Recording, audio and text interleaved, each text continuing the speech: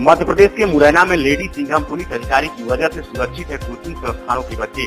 मुरैना के शिक्षा नगर क्षेत्र में करीब दो से पाँच हज़ार बच्चे पढ़ने आते हैं। वहीं कुछ असामाजिक तत्वों के कारण माहौल खराब होता था। परंतु एएसआई लक्ष्मी भदौरिया ने जब से मोर्चा संभाला, तब से वहाँ का न सिर्फ़ माहौल बदला है, बेटियाँ भी खुद को सुरक्षित महसूस करने लगी हैं। क्योंकि रोज सुबह एएसआई भदौरिया सभी बच्चों के आईडी चेक करती हैं। शर्ट के बटन, ड्रेसिंग स्टाइल, बाइक पर तीन स्टूडेंट ना हो, बाइक का लाइसेंस आदि खास बात। ये अधिकारी अपने शिक्षा नगर क्षेत्र में कई नामों से जानी जाती हैं। मौसी दीदी हिटलर सिंघम आदि नामों से बच्चे उन्हें बुलाते हैं परंतु लक्ष्मी भदौरिया रोज सुबह छह बजे आकर अपना ड्यूटी को निभाना शुरू कर देती है।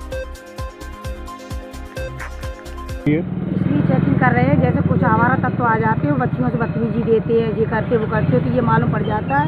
उनकी आई वगैरह चेक करके ये मैसेज होता है ये बच्चे पढ़ने वाले हैं कि ये आवारा घूम रहे हैं तो उन पर करते अभी हमारे कैमरे ने देखा आप बड़े प्यार के तरीके से बच्चों को समझाइश दे रही हैं और जिनके बटन खोले हैं उनके बटन लगा रहे हैं और साथ ही साथ आप लोग आईसी के लिए भी उन्हें प्रोत्साहित कर रहे हैं कि बेटा आईसी लेके चलो जैसे आपकी आइडेंटिफिकेशन हो सके। क्या मतलब किस तरीके से कैसे क्या?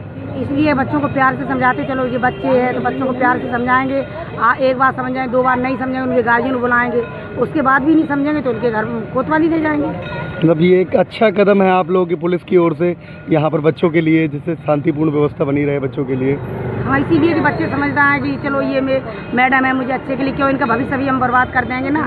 तो आगे ये नहीं सुधर पाएँगे तो इनको प्यार से, पुचकार के किसी तरह इनको समझाना उचित है।